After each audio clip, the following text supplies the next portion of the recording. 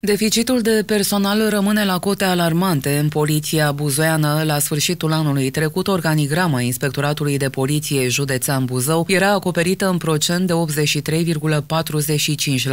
83,45%. Prezent în studioul Campus TV, comandantul IPJ Buzău, comisarul șef Laurențiu Pantazi, a mărturisit că lipsa de personal se resimte cel mai acut în ceea ce privește structurile de ordine publică și secțiile rurale avem nevoie de o acoperire mai bună în zona de ordine publică a teritoriului în general.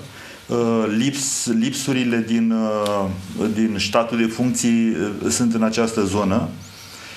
Este clar că în mediul rural mai trebuie polițiști, este clar că în mediul urban de asemenea mai trebuie polițiști.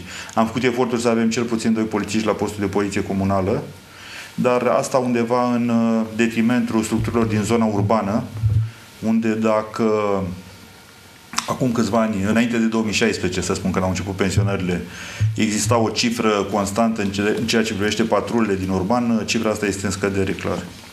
Și ne-ar, ne-ar, ne-ar place să acoperim mai bine această zonă.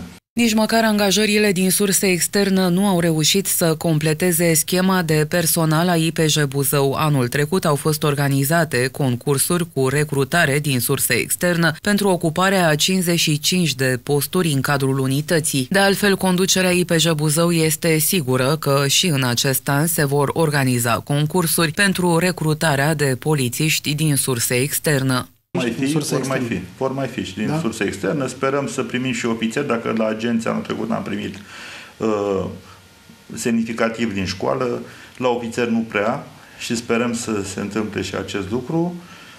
Uh, sper ca lucrurile să nu ia razna, repet iarăși, uh, în, uh, în zona asta de est și să împieteze automat misiunile noastre și dacă se va întâmpla, Doamne ferește, suntem pregătiți să ne facem datoria. Uh, sper ca, virgulă, criza economică, care întotdeauna a avut uh, repercusiuni de îndată sau în timp în zona de criminalitate, să nu afecteze într-o anumită măsură, într-o mare măsură, bunul mers al cetății, al societății și să avem boomuri de infracționalitate. Uh, sunt pozitiv în ceea ce privește colegii mei, sper să creștem în pregătire profesională și în eficiență. Anul trecut au fost repartizați în structurile IPJ Buzău numai puțin de 16 polițiști, toți absolvenți ai școlii de agenți de la Câmpina.